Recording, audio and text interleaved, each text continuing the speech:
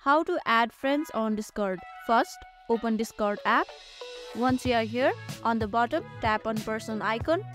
Now, to add friends, simply tap on person icon on top right corner of your screen.